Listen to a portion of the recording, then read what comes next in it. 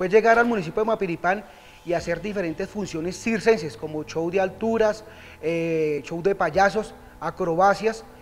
También se hicieron diferentes actividades de acción integral, como fue reconstruir el gimnasio para el adulto mayor del municipio de Mapiripán.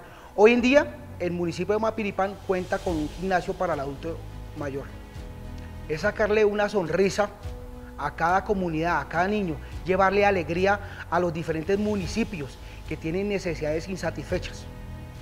Que aproveche cada oportunidad que el ejército o nuestros comandantes le dan. Hay veces nosotros nos dan una orden o, o de recibir algo y no lo vemos como una oportunidad, sino como un castigo. Entonces aprovechar esa oportunidad que nos dan.